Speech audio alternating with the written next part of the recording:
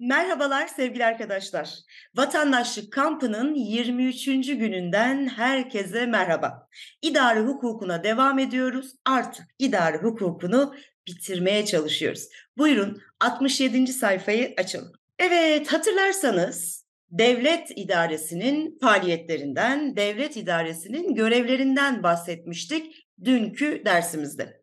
Bugün yine sözel bir kısım kolay, zor değil. İdari kararların özelliklerini birlikte not alalım.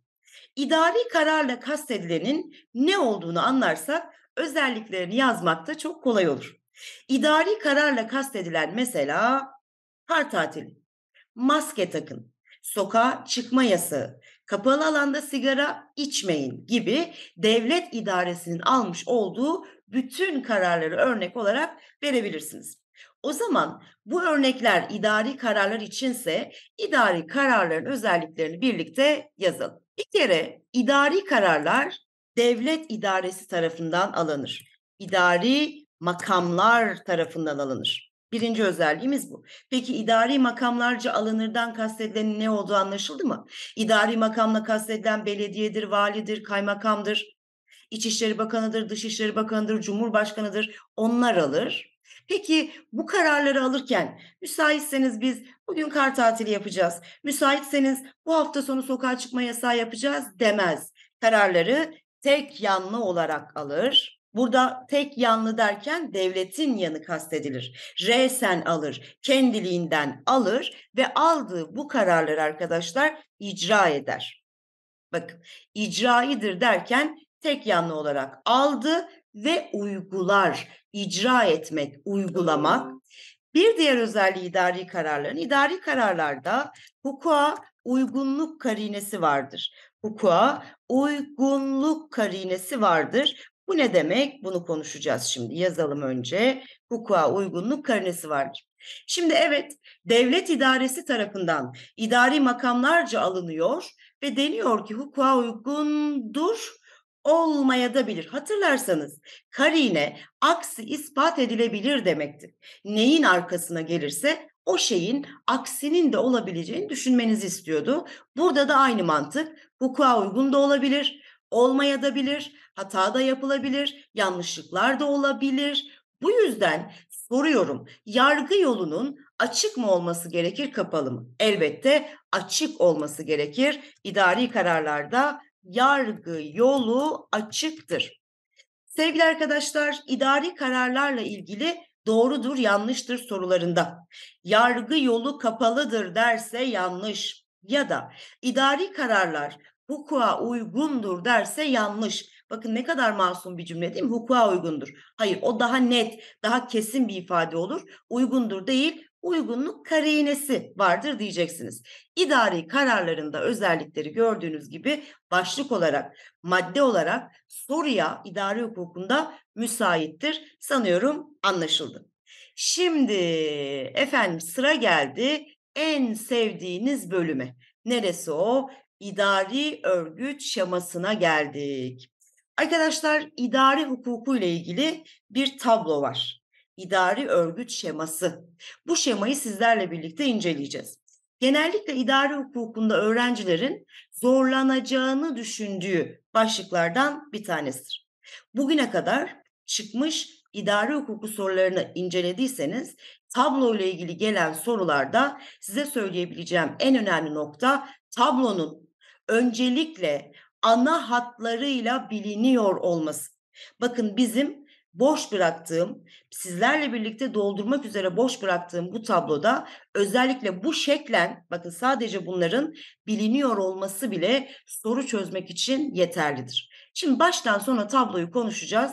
Endişelenmeyin. Sizden ricam bir kağıt, bir kalem almanız gerekiyor. Yanınızda muhakkak vardır ama dinleyen varsa Yanında kalem, kağıt olmayan varsa alsın. Bugün bolca idare örgüt şeması ile ilgili notlar alacağız arkadaşlar. Şimdi önce bu tablonun çıkış noktasına bakalım. Ne bu tablo?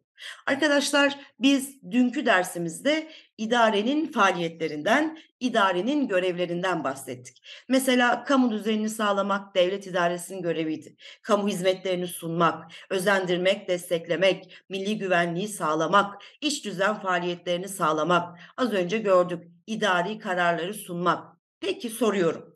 Devlet idaresi bu faaliyetlerinin hepsini, Türkiye haritasını düşünün, nüfusumuzu düşünün, her yere ve herkese ulaştırmak zorunda mı?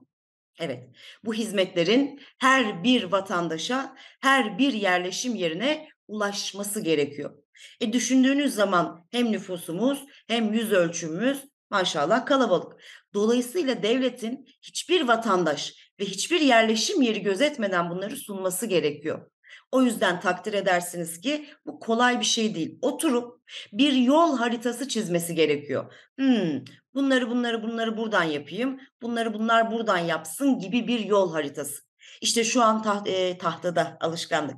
Karşıda gördükleriniz nedir arkadaşlar? Bu devletin devlet idaresinin faaliyetlerini sunmak için bize sunmuş olduğu yol haritası.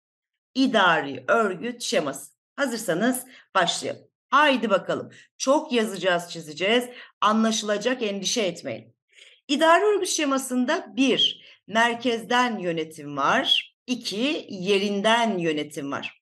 Merkezden yönetim başkent, taşra, yerinden yönetim ise yerel yönetimler. Bu arada yerel yönetimlerin bir diğer adı mahalli idarelerdir ve hizmet yerinden yönetim birimleri var. Sevgili arkadaşlar şurası bakın merkezden yönetim şöyle çizelim ve şurası ayıralım yerinden yönetim. Merkezden yönetim devletin ta kendisidir. Devletin kendisidir. Dolayısıyla merkezden yönetimin devletten ayrı bir kamu tüzel kişiliği yoktur. Zaten devletin kendisidir. O yüzden biz merkezden yönetime devlet tüzel kişisi diyeceğiz. Yani zaten devletin kendisi. Ancak merkezden yönetimle her yere ve herkese ulaşılamayacağı için ve merkezden yönetimin sakıncalarını ortadan kaldırmak için bulunulan yerden, yerinden hizmet vermek üzere yerinden yönetim birimleri kuruluyor. Yerinden yönetim birimleri merkeze, devlete bağlıdır ve bunlar birer kamu, kurum ve kuruluşudur. O halde yerinden yönetim birimlerinin devletten ayrı neyi vardır? Kamu tüzel kişiliği vardır. Bakın DDK, DTK devlet tüzel kişiliği, KTK KTK mi deniyor? Şimdi Türkçe'ye de uymaya çalıştım. Uymayaydım daha iyiydi. Kamu tüzel kişisi. Size soruyorum. Devlet her şeyi merkezden kendisi yapsa idi. Yerinden yönetim birimlerine yetki vermese idi her şeyin merkezden, devlet elinden yapıldığını düşündüğünüzde evet bunun yararları vardır. Ancak sakıncaları da vardır. Her şeyi devlet yaptığı zaman, merkez yaptığı zaman bu bir güçlü devlet otoritesi sağlar. Ancak bununla birlikte yerinden yönetim birimleri her seferinde merkezden yönetimden hizmet isteyeceği için bürokrasiyi ve kırtasiyeciliği artar. Evet, merkezden yönetimden yapıldığı zaman arkadaşlar denetim daha kolaydır. Ee, sağlam yeknek olarak yani tek elden hizmetler daha kolay ulaşır ve kontrolünü de daha rahat sağlarsınız. Yerinden yönetimin en önemli yararı bu e, kırtasiyecilik ve bürokrasiyi ortadan kaldırmasıdır. Yani şöyle düşünün, her şeyi merkezden yönetimden yapıldığında yerinden yönetim oraya ulaşmak için bürokrasi zincirine takılıyor. Bir kırtasiye masrafına katlanıyor. O ona söylüyor, o ona aktarıyor. Yerinden yönetim birimleri geldiği zaman işte bunun yararı merkezden yönetimin sakıncasını ortadan kaldırmış, bürokrasiyi ve kırtasiyeciliği ortadan kaldırmıştır. Ve yerinden yönetimin bir diğer faydası yöresel ihtiyaçlara uygundur. Yani daha rahat yöresel ihtiyaçları bilebilirsiniz. Ama merkezden uzaklaştığı için mali denetimi, mali kontrolü zordur ve yerinden yönetimde partizanca uygulamalar daha fazladır. Şimdi merkezden yönetim devletin kendisi, devlet tüzel kişisi, yerinden yönetim ise oraya bağlı kamu ve tüzel kişileri. Merkezden yönetim diyor ki yerinden yönetimi. Evet ben oluşturdum sizi bulunduğunuz yerden siz de hizmet vereceksiniz ama gözüm üzerinizde. İşte merkezden yönetimin bakın şuranın yerinden yönetim birimleri üzerindeki şunlar üzerindeki denetim ve kontrol yetkisine hemen yazıyoruz. İdari vesayet denir. İdari vesayet. Hemen tekrar edeyim. Merkezden yönetimin yani şu halkanın bakın yerinden yönetim birimleri üzerindeki denetim ve kontrol yetkisine idari vesayet denir. Vesayet zaten denetim, kontrol anlamında kullanılır. Merkezden yönetimde ise arkadaşlar, merkezden yönetim halkası içinde ise kendi içlerinde ne vardır denirse hiyerarşi vardır diyeceksiniz. Şimdi sizden not alan arkadaşlarımdan şunu rica ediyorum. Bakınız, idarede bütünlüğü sağlayan iki hukuki araç vardır diyeceksiniz. İdarede bu tabloda bütünlüğü sağlayan iki hukuki araç vardır. Biri idari vesayet, diğeri hiyerarşi. Bu soruldu arkadaşlar daha önce. Aşağıdakilerden hangisi idarede bütünlüğü sağlayan hukuki araçlardandır? Yani sizin de görmeniz gereken ha idari vesayet diye bir şey var, hiyerarşi diye bir şey var. Bunlar ne yapıyorlar? İdarede bütünlüğü sağlıyorlar. Hukuki iki araç. İdari vesayet tanımını yapıyorum. Merkezden yönetimin yerinden yönetim birimleri üzerindeki denetim ve kontrol yetkisi. Hiyerarşi ise merkezden yönetimin kendi arasındaki ast üst ilişkisi. Bakın hiyerarşi daha keskin, daha serttir değil mi? Ast üst ilişkisidir. Merkezden yönetimde kendi aralarında var. Arkadaşlar hemen bunları örneklendirelim. Mesela biraz sonra göreceğiz. Ulaştırma Bakanlığı nerede? Merkezden yönetimde, başkentte. Karayollarının yine biraz sonra göreceğiz. Hizmet yerinden yönetim birimlerinde olduğunu biliyoruz. Eğer size verilen birimlerden bir tanesi Ulaştırma Bakanlığı merkezde, karayolları hizmet yerinden yönetimde. Biri merkezde, diğeri yerinden yönetim birimleri halkası içinde ise aralarında ne vardır diyeceksiniz? İdari vesayet var diyeceksiniz. Ama vali kaymakam biraz sonra göreceğiz. Taşra'da ikisi de vali ile kaymakam arasında idari bütünlük neyle sağlanır dendiğinde ikisi de merkezden yönetimde olduğu için hiyerarşi cevabını vereceksiniz. Bununla ilgili biraz sonra tekrar konuşuruz. Şimdi ana hatlarıyla tabloyu çerçevesini çizdik sadece. Gelin bu tabloyu birlikte doldurup tanımaya çalışalım. Başkent taşra. Herhalde bu tabloda en rahat ayırt edilebilecek olan şüphesiz başkenttir. Başkent Ankara. Ve diyeceksiniz ki Ankara'da kimler var? Bir, başkent teşkilatını yazalım hadi. Cumhurbaşkanı burada, Cumhurbaşkanı yardımcısı burada ve bütün bakanlıklar burada arkadaşlar. Gördüğünüz gibi başkent teşkilatı gayet kolay. Cumhurbaşkanı, Cumhurbaşkanı yardımcısı ve bakanlıkların hepsi burada. Başkente yardımcı kuruluş diyor bakın burada. Başkente yardımcı kuruluşla kastedilen nedir? Biz devlet idaresinin görevlerinden bahsettik. Bu görevleri yerine getirirken tabii ki devlet bazı kurumlardan ne alacaktır? Destek, yardım alacaktır. Mesela mali konular desem ne dersiniz? Sayıştay. E idarede bir dava açılacaksa mesela tabii ki hangi mahkemeden bahsedersiniz? Danıştay. Güvenlik, milli güvenlik devletin en önemli göreviydi. O yüzden MGK. Bir de ekonomik, ismen bilmeniz yeterli bunu ve sosyal konsey. Bakın dört tane ne var? Ee, başkente yardımcı kuruluş var arkadaşlar. Bunlar dört madde olduğu için e, sorusu şöyledir. Aşağıdakilerden hangisi başkente yardımcı kuruluşlardan değildir. Ve buraya genellikle yargıtay konur. Öğrenciye de tanıdık gelir. Hayır. Burada bir mahkeme var. O da tek bir mahkeme Danıştay. E çok mantıklı. İdareden bahsediyoruz. İdari uyuşmazlıklarda tabii ki Danıştay burada olmalıdır. Ya da aşağıdakilerden hangisi yüksek mahkeme olmakla birlikte başkente yardımcı kuruluştur. Mesela buraya da Yargıtay'ı koyuyor. Öğrenci diyor ki e, Yargıtay yüksek mahkemeydi hocam. Evet ama başkente yardımcı kuruluş değil. Yani hem yüksek mahkeme olup hem başkente yardımcı kuruluş olan tek bir mahkeme var. Danıştay. Gördüğünüz gibi başkent teşkilatı sorularda rahat ayırt edilebilir. Gelelim taşraya. Tabloyu tanıyoruz şimdi. Arkadaşlar biz taşrayı senelerce yanlış anlamışız. Taşraya tayinim çıktı diyen birine üzülmüşüz. Ah yazık kız en ücra köşeye gidiyor. Oysa taşra Ankara dışındaki bütün il ve ilçeler bizim için. Bakın Ankara dışındaki. Ne var taşrada? Önce ana hatlarıyla başlıklarını yazdım. Buna dikkat edin. Sizden biri taşrayı istediğinde sizin aklınıza ilk gelecek olan bak ana hatlarıyla büyük resmi çiziyorum. İl, ilçe, bölge. Bak bu tabloda e, ana hatlarını çiziyorum dediğim yerleri bilmeniz yeterli. Taşra dendiğinde size soru çözdürecek olan alan il, ilçe, bölge. Önce büyük resmi görmen lazım. İl, ilçe. Tamam. Şimdi içine girebilirsiniz. Bakalım ilde neler var? Arkadaşlar ilde en yetkili mülki amirin vali olduğunu söyleyebilirsiniz. İlde kim var?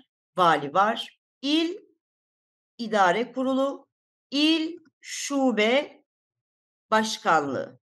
İlçeye geçiyorum. İlçede kim var en yetkili mülki amir? Güzel. Kaymakam. Hadi birlikte dolduralım. Yukarıdaki e, idare kurullarının başına il değil de ilçe getireceksiniz. İlçe idare kurulu ve ilçe şube başkanlığı olacak bu kez. Bölgede de buraya da şunu yazalım. Bölge müdürü. Bugün biraz yoracağım siz arkadaşlar. Not alacaksınız. Evet birlikte dolduralım istiyorum. Taşra ne gelecekti aklına? Vali il idare kuruluna bakma. Biliyorum nereye odaklandığını. Hayır. Biri sana taşra dediğinde il, ilçe, bölge. Bak bölgeyi bile unutabilirsin. Yani unutma da bölge bile çıkabilir aklından. Ama taşrada il, ilçe. Tamam. Bu da dursun. Tabloyu dolduruyorum. Yerinden yönetim birimlerinde yerel yönetimler. Diğer adı mahalli idareler. Yerel, yerel. Ha, bir şeyler canlandı. Yerel seçim falan yapıyoruz 5 yılda bir. Evet o. Neler var yerel yönetimlerde? Nasıl ki az önce sana biri taşra dediğinde aklına il, ilçe gelecekti ya öncelikle. Yerel yönetimler dendiğinde de aklına ilk gelecek olan il özel idaresi, belediye idaresi ve köy idaresi olacak arkadaşlar. Nasıl ki Taşra'da bak büyük resim dediğim şu halka için aldıklarım. Taşra'da il, ilçe, yerel yönetimlerde il özel, belediye, köy. Hocam işte ben tam da burada Orada da il var, orada da il var karıştırıyorum. Yerel yönetimlerde il yok. İl özel idaresi var. İl taşradadır. İl özel yereldedir. Konuşacağız. Şimdi doldurmaya devam edelim. İl özel idaresinde kimler var? Vali var. Ha, hocam işte iki yerde de vali var. Benim kafam çorba. Anlatacağım. İl Genel Meclisi, İl Daimi Encümeni. Belediyede belediye başkanı, belediye meclisi, bak yukarıdaki meclis ve encümenlerin başına bu sefer belediye getiriyorum. Belediye meclisi ve belediye encümeni. Köye geçelim. Köyde kimler var? Tabii ki köy muhtarı burada. Köy muhtarı bak mahalle burada değil. Bu tabloda mahalle yok. Köy muhtarı, köy derneği ve ihtiyar heyeti. Evet. Şimdi devam edelim. Dolduruyoruz tabloyu. Hizmet yerinden yönetime de bir şeyler yazalım. Hizmet bana bulunduğum yerden hizmet verenler. YÖK'ten hizmet alırım. Üniversitelerden hizmet alırım. Karayollarından hizmet alırım. Mesela Türkiye Cumhuriyeti Devlet Demiryolları'ndan hizmet alırım. Devlet su işlerinden hizmet alırım e, kamu kurumu niteliğindeki meslek kuruluşlarından hizmet alırım, meslek kuruluşları. Bunlar kamu kurumu niteliğindeki meslek kuruluşlarıdır. Tabipler Odası, Barolar Birliği, Ticaret ve Sanayi Odası gibi ve hizmet yerinden yönetim birimleri çok daha fazladır. Ben burada aklınızda kalması gereken birkaç tane örnek verdim. Tabloyu şu an ana hatlarıyla doldurdum. Sizden istediğim bu tablo çalışması ile ilgili şu dakikada aklınızda kalmış olan noktanın şu olması. İdare. Merkezden, yerinden. Tamam. Merkezde başkent taşra. Tamam. Yerinden yerel ve hizmet yerinden. Tamam. Başkent Ankara. Cumhurbaşkanı, Cumhurbaşkanı bakanlıklar, başkente yardımcı kuruluşlar orada tamam. Taşra il, ilçe, bölge tamam. Yerel yönetim il özel, belediye, köy tamam. Hizmet yerinden yönetim TRT, üniversite, karayolları. Bak bu. Önce bunu göreceksin. Tamam mı? Şimdi birkaç tane yine e, ipucu vereyim size. Öğrenci bu tabloda bu ana hatlarıyla neyin nerede olduğunu görmek dışında bu tabloyu ilk baktığında öğrenci gözü diye bir şey var. Şey görüyor direkt meclis, encümen, il idare kurulu, şube başkanlığı. Oraya takılma. Benim az önce saydığım ana hatlarıyla tabloya bir hakim ol. Meclis de encümen de hiç zannettiğin kadar zor değil. Hocam, efendim, vali ne diyorsunuz? İki yerde de var. Görüyorum iki yerde de var. Arkadaşlar ikisi de aynı adam onların. Nasıl yani? İl idaresindeki vali ile il özel idaresindeki vali aynı kişi. E peki hocam biz valiyi sorularda gördüğümüzde nerede dikkate alacağız? Taşrada. Valinin yeri il idaresidir. Taşrada diyeceksiniz. İl özelde yeri yok. Yani nerededir sorularıyla ilgili vali nerededir? İl idaresindedir. Vali ile ilgili konuşalım. İl özel idaresi ile de neden bağlantısı var onu da söylemiş olacağız. Arkadaşlar vali ilde en yetkili mülki amirdir. Değil mi? Bir numaralı adamdır. Asayişten o sorumludur. Kurumları o denetler ama kapısını çalamayacağı iki kurum var. Nereleri denetleyemez? Yargıyı denetleyemez ve askeriyeyi denetleyemez. Ama ilde onun dışındaki her yeri denetleyebilir. Vali o kadar geniş yetkilere sahiptir ki olağanüstü halde, bak normal durumda değil, olağanüstü halde Türk Silahlı Kuvvetleri'ni göreve çağırabilir vali. Valinin yanına bir şey yazacağım. Bunu sadece valinin yanına yazabilirsiniz. Başka hiç kimsenin yanına yazamazsınız. Defalarca sordu ÖSYM bunu. Yetki genişliği. Yetki genişliği. Siz de muhakkak duymuşsunuzdur. Duymadıysanız da bunu muhakkak not alın. Arkadaşlar yetki genişliği kime aittir sorusunu sordum. Valiye. Nedir yetki genişliği? Şöyle bakın tabloyu okuyorum sadece. Taşra'da bulunan valinin, bak valinin yeri Taşra unutma. Taşra'da bulunan valinin başkente danışmadan karar verebilme yetkisi. Dolayısıyla burada e, valinin bir kez daha nerede olduğunu vurguluyoruz, Taşra'da olduğunu vurguluyoruz. Mesela hatırla sabaha karşı yağan kar Hemen bir altyazı. Bugün valilik tarafından okullar bir gün süreyle tatil edilmiştir. O kar da hep sabah karşı yağardı. Hep de böyle tam okul saati üzerimizde önlüklerle beklerdik. Acaba tatil olacak mı? Tam çıkarsın ya da tam çıkmak üzeresin tatil kararı gelir. Ama hiç önemli değil. Olsun tatilin hangi anda geldiğinin önemi yok. Hemen önlükler çıkar ve sokağa çıkarsın. Aslında vali sen zorlanma. Hani karda kışta gidip gelme diyor tatili yapmıştır ama öyle bir dünya yok. Çıkarsın akşama kadar o soğukta oynarsın. Ay o günler geldi. Yetki genişliği kar tatili. Şimdi iki tane soru var bakın. Bir, yetki genişliği kime aittir? Vali. İki, yetki genişliğinin tanımı. Bu arada not alan arkadaşlarım için yetki genişliğini tane tane söyleyeyim. Yetki genişliği taşrada bulunan valinin başkente danışmadan karar verebilme yetkisidir. Taşrada bulunan valinin başkente danışmadan karar verebilme yetkisidir. Yetki genişliği başka hiç kimsede yoktur. Bu tabloda şöyle olursa bunun da olur. Hayır, böyle olur. Hayır. Sadece valiye ait. Geçen sene 2022 ön lisanslara yine sordu yetki genişliğini. ili vermiş. Taşra'daki işte merkezdeki e, sakıncaları ortadan kaldırmak için, daha çabuk karar almak için e, valiye verilen bu yetki, başkente danışmadan karar alabilme yetkisi gibi ifadeler kullanmış.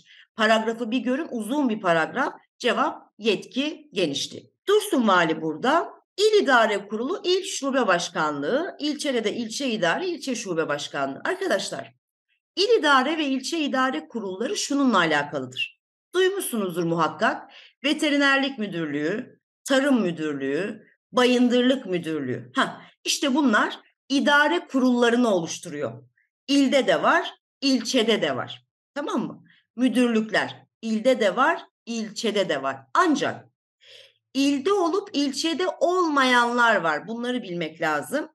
Mesela il idare kurulunda hukuk işleri yürütülür.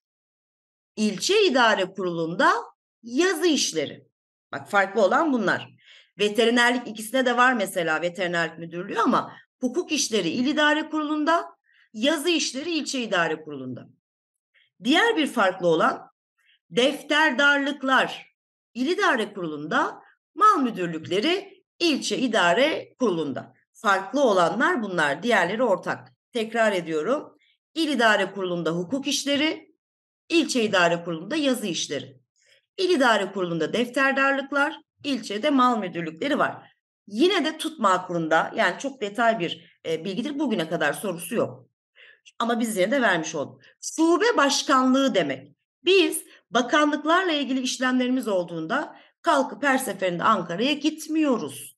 Bakanlıkların il ve ilçelerdeki temsilciliklerine şube başkanlığı denir. İl Milli Eğitim şube başkanlığı, ilçe Milli Eğitim şube başkanlığı gibi. Peki hocam valinin iki yerde de olduğunu görüyoruz. Ama biz sorularda valinin yerini tespit edeceğimiz sorularda taşrada dikkate alıyoruz. İl idaresi ile il özel idaresi arasındaki farka bakalım. Arkadaşlar Türkiye'de iller hukuki olarak aynıdır değil mi? Kurulmaları, kaldırılmaları aynıdır. Ama illerin ihtiyaçları aynı değildir. Şüphesiz her ilin kendine özel ihtiyaçları vardır. Farklıdır bu ihtiyaçlar. Bir ile özel o ilin ihtiyaçlarını karşılamak üzere kurulan birimlere il özel idaresi denir. Bakın bir ile özel o ilin ihtiyaçlarını karşılamak üzere kurulan birimlere il özel idaresi denir. O ile özel idare. Az önce söyledim. Bir ili en iyi tanıyan adam kimdi? Bir numaralı adam vali. Ha işte o yüzden valiye diyorlar ki abi ili en iyi sen tanıyorsun. Bu ilin özel ihtiyaçlarını en iyi sen bilirsin. Gel il özel idaresinin doğal başkanı ol. İşte vali o yüzden burada. Yine yazalım yanına il özel idaresinin doğal başkanı.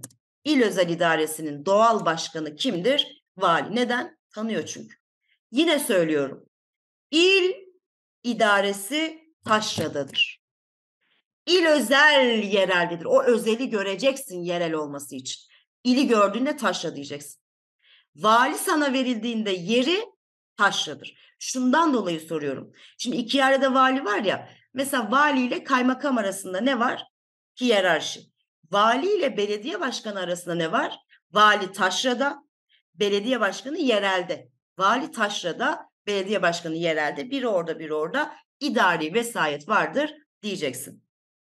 Şimdi hocam benim şu an bulunduğum ilde e, hatırlamaya çalışıyorum size anlatırken ama il özel idaresi yok diyorsan eğer sen büyük şehirde yaşıyorsun.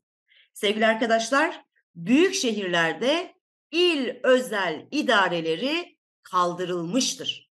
Büyük şehirlerde, büyük şehir belediyelerinde il özel idareleri kaldırılmıştır. Mantıklı mı? Zaten il özel idaresinin yaptığı işleri büyükşehir belediyeleri yapıyor. E, artı maliyet, personel, bina vesaire bundan kurtulmak için il özel idareleri büyük şehirlerde kaldırılmıştır. Peki hocam kaç tane büyük şehirde kaldırıldı? Şu an kaç tane büyükşehir belediyesi varsa.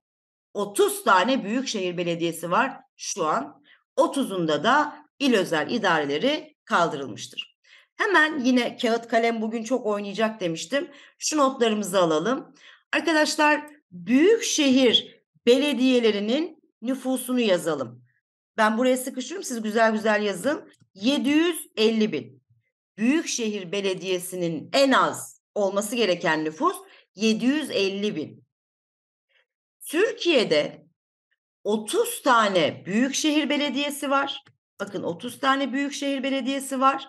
En son büyükşehir belediyesi olan ilimiz Ordu. Büyükşehir belediye nüfusu en az 750 bin olacak. 30 tane büyükşehir belediyesi var. Buralarda il özel idareleri kaldırıldı. En son büyükşehir belediyesi olan ilimiz Ordu. Büyükşehir belediyeleri büyükşehir belediyeleri kanunla kurulur arkadaşlar. Büyük şehir belediyeleri kanunla kurulur. Peki hazır e, bu konudan laf açılmışken devam edelim. Belediye nüfusunu da söyleyelim. Belediye nüfusunun da en az 5000 olması gerekir arkadaşlar. Bak bunu farklı yıllarda değişik şekillerde sordum. Yani belediye nüfusunun 5000 olmasını bilmemi gerektirecek tarzda sorular sordum. Belediye nüfusu en az 5000. E hadi elimizdeymişken köyü de söyleyelim. Köyde arkadaşlar 2000'in altı yerleşim yerleri. Yani 2000'in altındaki yerleşim yerlerine biz köy diyoruz. Şimdi köylerle ilgili şu notu da almanızı isterim. Köylerin kurulması dümdüz bir soru. Sıkça da sorulur kaynaklarda görürsünüz. Köylerin kurulması dediğiniz duyuyorum. İçişleri Bakanı'nın onayı ile. Bak Büyükşehir Belediyeleri kanunla, köyler İçişleri Bakanı'nın onayıyla. Burası tamam mı? Ama size bir soru da şöyle derse. Dikkat. Nüfusu 2000'in altına düşen yerleşim yerlerinin köye dönüştürülmesi kimin kararıyla? Cumhurbaşkanı kararıyla. Bakın diyelim ki nüfus 3000, 3500. Burada herhangi bir şey oldu. Nüfus 2000'in altına düştü. E bu yerleşim yerini neye çevirmen lazım artık? Nüfustan dolayı köye çevrilmesi lazım. İşte bunun kararını Cumhurbaşkanı veriyor. Tekrar ediyorum. Dümdüz bir köylerin kurulması sorusu İçişleri Bakanı'nın onayı. Ama nüfusu 2000'in altına düşen yerlerin köye çevrilmesi, dönüştürülmesi Cumhurbaşkanı kararı cevabını vereceksiniz. Peki devam ediyoruz tabloyu incelemeye. Bakın bir şeyler biraz daha oturuyor. Hocam meclis encümen oraya gelin ben orayı çok karıştırıyorum. Karıştıracağım bir şey yok burada. Detay bakıyorsundur muhtemelen. İster il özel idaresinde olsun, ister belediye idaresinde olsun, meclis karar organıdır, encümen danışma organıdır. İkisinde de aynı. Burada da aynı. Yazayım burada da üşenmeyelim. Burada da karar organı, burada da yine danışma organı. Sizin burada şuna dikkat etmeniz lazım. Başında meclisin ya da encümenin bir kere meclisle encümenleri merkezden yönetimde aramayın. Önce onu bir söyleyeyim. Meclis ve encümen kelimelerini merkezden yönetimde arama. Hep yerelde ara. Unutma bak. Hep yerelde ara. Bu sana çok lazım. Yerelde ara. Meclis ve encümenin başında il varsa il özel idaresine dahil et. Belediye varsa belediye idaresine dahil et. Bak bu çok önemli. Meclis ve encümenleri merkezde değil, yerel yönetimlerde ara. Başında yani e, il varsa il özel idaresinde, belediye varsa belediye idaresinde ara. Bu kadar basit. Karar organıdır. Diğeri de danışma organıdır. Mesela il özel idaresinin karar organı. Karar dediğine göre meclis olacak, başında il olacak, il genel meclis. Belediyede, belediye meclis. Danışma, ilde il olacak başında, il daimi encümeni. Belediyede başında belediye olacak, belediye encümeni gibi. Şimdi devam edeceğim. yani döneriz oraya tekrar. Köy muhtarı. Köy muhtarını kim seçer sorusu yıllar önce birçok öğrenciyi döktü. Haklı olarak şıklarda da vardı köy halkı dedi öğrenciler. Oysa cevap köy derneği. Arkadaşlar köy derneği seçiyor köy muhtarını. Köy muhtarını kim seçer? Köy derneği seçer. Peki ne demek köy derneği? Köy derneği köydeki seçmenlere verilen isim. köydeki seçmenlere verilen isim köy derneği. Bakın daha önce köy muhtarını kim seçer diye sorup cevabı köy derneği isteyen ÖSYM'e köydeki seçmenlere ne ad verilir denildiğinde cevabın köy derneği olacağı bir soruyu da sorabilir. İhtiyar heyeti tabii ki efendim ihtiyarlardan oluşmuyor. İhtiyar heyeti seçimle göreve geliyor. Bakın azalar gibi düşünebilirsiniz. Seçimle göreve geliyor. Ancak ihtiyar heyetinde bulunup seçilmeyen, seçimle göreve gelmeyen, zaten orada olması gereken iki doğal üyesi var. Ne dediğinizi duyuyorum. Öğretmen, imam. Doğru. Öğretmen ve imam ihtiyar heyetinin seçimle göreve gelmeyen, zaten orada olması gereken doğal üyesidir. Sevgili arkadaşlar şu an ne yaptık biliyor musunuz? Tablo çalışması yaptık. Nerede ne var vesaire.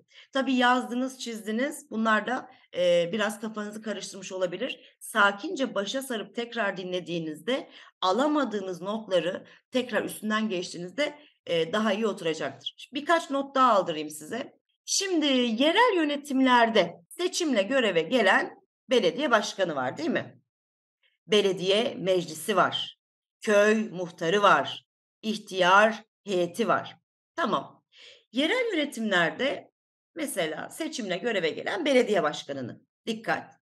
Geçici olarak görevden alan İçişleri Bakanı'dır. Görevine tamamen son verecek olan Danıştay'dır. Belediye başkanını geçici olarak görevden alacak olan İçişleri Bakanı'dır. Görevine tamamen son verecek olan Danıştay'dır arkadaşlar. Şimdi tablo hazır önümüzde ve biraz daha netleşmişken birkaç bir şey söyleyelim. Sizden ricam tabloyu önce lütfen ana hatlarıyla bilin.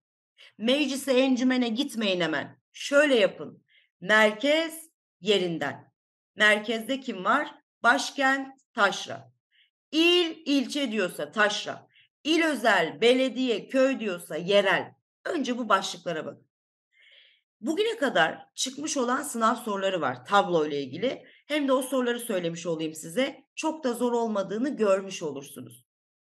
İdarede hukuki bütünlüğü sağlayan hukuki araçlar, soru gelen alanları söylüyorum. İdari vesayet hiyerarşi.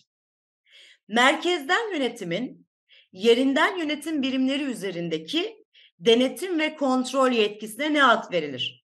İdari vesayet. Taşra'da bulunan valinin başkente danışmadan karar verebilme yetkisine ne ad verilir? Yetki genişliği. Yetki genişliği kime aittir?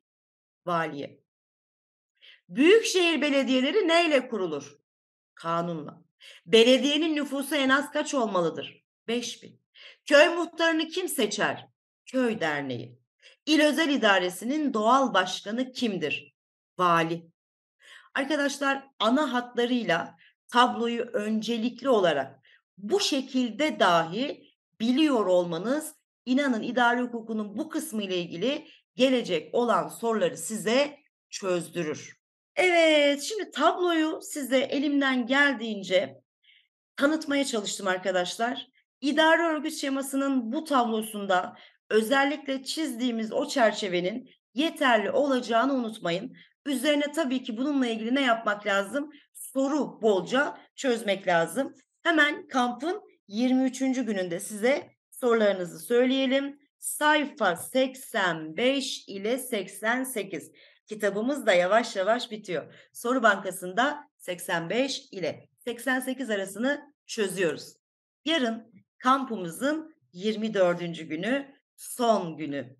Yarın size sizi anlatacağım. Kamu görevlerinden bahsedeceğiz arkadaşlar. Şimdi biraz dinlenin. Çünkü idare örgüt şeması biraz yorar. Toparlayın notlarınızı. Temiz bir sayfaya bu kavramları durdurarak beni ilerleterek, gerileterek güzel güzel not alın. Takıldığınız yerler olursa bana sorun arkadaşlar. Kendinize çok iyi bakın. Kampın son gününde yarın görüşmek üzere. Allah'a emanet olun. Hoşçakalın.